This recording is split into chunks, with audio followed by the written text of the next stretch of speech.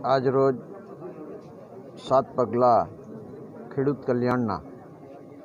કાર્યક્રમનું માનનીય મુખ્યમંત્રીશ્રીએ ગાંધીનગરથી લોકાર્પણ કર્યું હતું. તેના ભાગરૂપે આજે સુરત જિલ્લાનો કાર્યક્રમ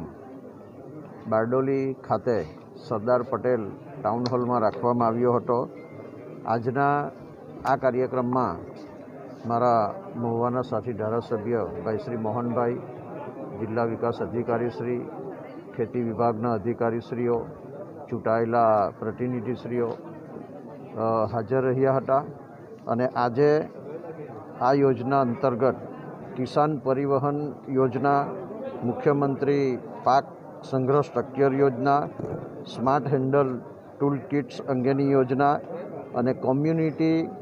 બેઝ ભૂગર્ભ પાણીના ટાંકા એમ કુલ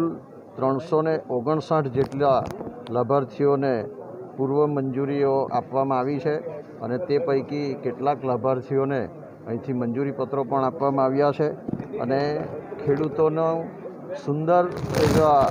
આ સાત પગલાં ખેડૂત કલ્યાણના આ કાર્યક્રમમાં અહીં સુંદર મજાનો કાર્યક્રમ યોજાયો હતો અને સમગ્ર રીતે સોશિયલ ડિસ્ટન્સનું પાલન કરીને આ હોલમાં અંતર રાખીને ખેડૂતોને બેસાડવામાં આવ્યા હતા અને આ રીતે સતત આપણી ગુજરાતની ભારતીય જનતા પાર્ટીની સરકાર જ્યારે ખેડૂતોની ચિંતા કરી રહી છે ત્યારે આ ખેડૂતોની આવક બમણી કરવામાં આ યોજના ખરેખર મહત્ત્વની પુરવાર થશે. આ